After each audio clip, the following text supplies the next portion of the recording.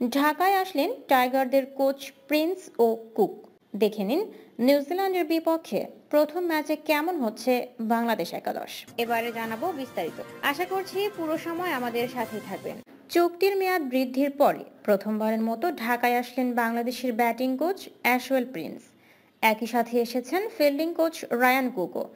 নিউজিল্যান্ডের বিপক্ষে সিরিজকে সামনে রেখেই কাল ঢাকায় পা রাখলেন তারা।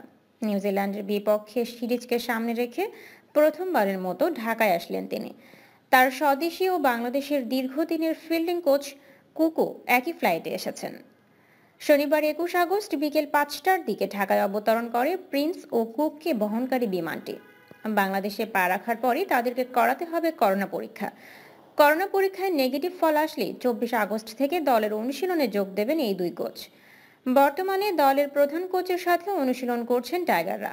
ঘরের মাঠে অস্ট্রেলিয়ার বিপক্ষে সফল সিরিজ শেষে বাংলাদেশ দল এখন প্রহর গুনছে, নিউজিল্যান্ডের বিপক্ষে পাঁচ ম্যাচ টি টোয়েন্টি সিরিজে মাঠে নামার জন্য।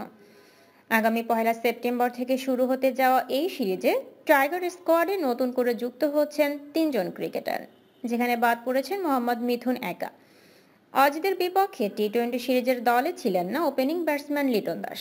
Zimbabwe সিরিজে ইঞ্জুরিতে পড়া লিটন দেশে ফেরত আসার কারণেই মূলত ছিলেন না অস্ট্রেলিয়া সিরিজের ভিতরে। তবে ইঞ্জুরি কাটিয়ে আবারও তিনি দলে ফেরায় ওপেনিং পজিশনে আসতে পারে পরিবর্তন। অস্ট্রেলিয়া সিরিজে টানা ব্যর্থ সৌম্যকে ওপেনিং থেকে নামিয়ে দেয়া হতে পারে নিচে। তার বদলে নাইম শেখের সাথে ওপেনিং করতে দেখা যেতে পারে লিটন দাসকে। অন্যদিকে তিন নম্বর পজিশনে সাকিব আল হাসান থাকার পর চার নম্বর পজিশনেও আসছে পরিবর্তন। আগের সিরিজে স্কোরের বাইরে থাকা মুশফিকুর রহিম একাদশে যুক্ত হলে চার নম্বরে দেখা যাবে তাকে। এছাড়া পাঁচ নম্বরে অধিনায়ক মাহমুদুল্লাহ রিয়াদকে দেখা যেতে পারে। রিয়াদের পরের পজিশন নিয়ে অবশ্য কিছুটা ধোয়াশা থেকে যায়। কেননা, এই পজিশনে যদি নুরুল হাসান সোহানকে খেলানো হয়, তাহলে সৌম্যকে ব্যাট করতে হবে সাত নম্বরে। তবে সৌম্যকে ছয় নম্বরে দেখা যাওয়ার সম্ভাবনাই বেশি।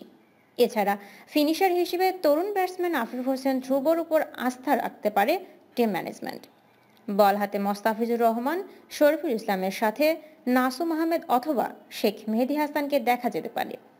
সেই সাথে সাকিব আল হাসান স্পিনার হিসেবে তো আছেনই। ঘরের মাঠের স্লো উইকেটে বাড়তি আর কোনো পেসার খেলানোর সম্ভাবনাও নেই বললে চলে। নিউজিল্যান্ডের বিপক্ষে সিরিজের প্রথম ম্যাচে বাংলাদেশের সম্ভাব্য একাদশ।